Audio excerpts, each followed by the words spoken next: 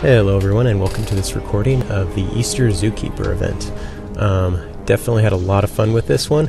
I wished I could have done a live voice recording with it, but uh, circumstances would not allow it. Um, wasn't very different than a normal zookeeper event, except I was going around putting eggs all over the place throughout most of the event um, when I wasn't dead or occupied otherwise. And also, the event was highly unorganized, and that was intentional. Um, a lot of people died, and I mean, right off the bat, someone either by accident or on purpose trained the uh, first main boss right up to the entrance gate and got almost everyone's pet killed. Uh, a lot of people died too. So definitely a very chaotic beginning to it.